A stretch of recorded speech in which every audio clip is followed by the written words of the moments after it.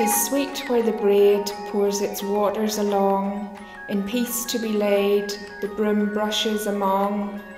When the willows around and the breeze swelling near make a musical sound, all delightful to hear.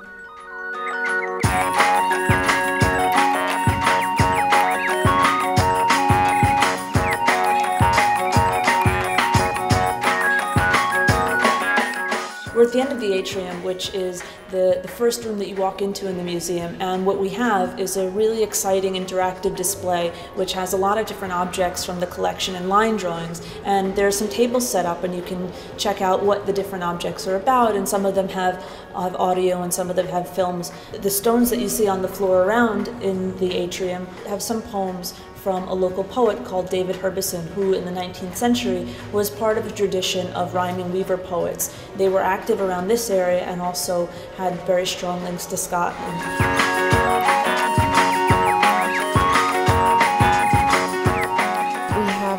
Huge new arts centre and museum facility here, a 400 seat theatre, 77 seat studio theatre, arts workshops, and several exhibition spaces where we programme major contemporary art exhibitions and smaller local exhibitions. Part of our facilities here as well include a, a cafe, a bar, we have a huge tourist information centre where we attract visitors from all over Northern Ireland and abroad.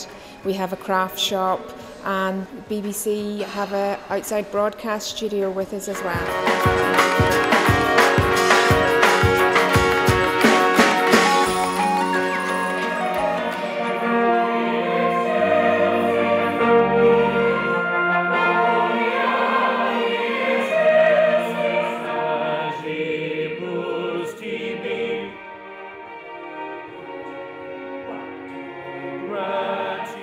We're a community based orchestra in Ballymena.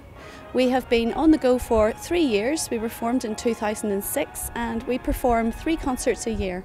One in the Braid as part of Ballymena Arts Festival each year, and two others which are at various venues through the town. We have a choir as well as an orchestra, and we're always looking for new members and people who want to come along and experience our music.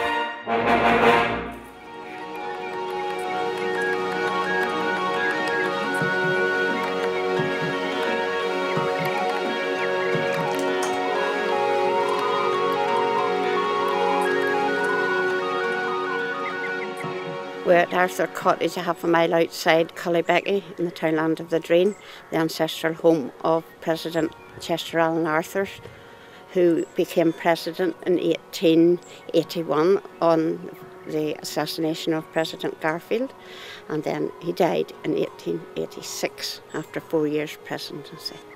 The cottage itself is over 200 years old. There's the main cottage where the Arthur family would have been reared. It's a kitchen, bedroom, and upstairs. We have a small museum of all the tools, farm tools, and things that they would have used in those days.